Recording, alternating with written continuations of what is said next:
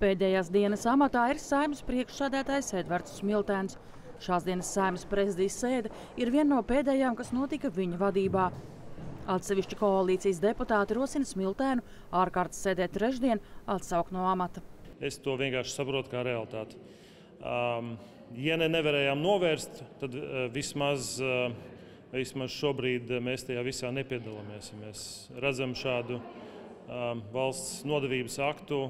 Koalīcijas partijas vienojušās parlamenta spīkera amata apstiprināt Gunāru Kūtri. Viņam jau ir bijusi pieredze saimas prezidijā 12. saimas laikā, tāpat viņš savulaik vadījis satversmes tiesu. Dzīvē man ir bijis pietiekami laba jurista karjera, lai es teiktu, ka izaicinājumi ir bijuši un esmu vadījis iestādi un valsts mērogā pieņems lēmumus. Tā kā no amata pienākumiem vadīt iestādi es nebija, nebaidos.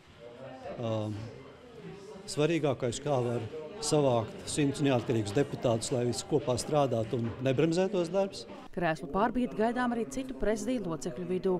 Iecerēts, ka līdzšinējā sekretāra biedra Antoņina Naševa kļūs par saimas priekšsādātāju biedri. Bet līdzšinējam saimas priekšsādātāju biedram Jānim Grasbergam kļūstot par sekretāru biedru. Saimas sekretāra amatu, ko līdz šim ieņēma zemkopības ministrs Armāns Krauze, paredzēts uzticēt apvienotajam sarakstam. Izmaiņas gaidāmas arī Saimas komisiju vadībā.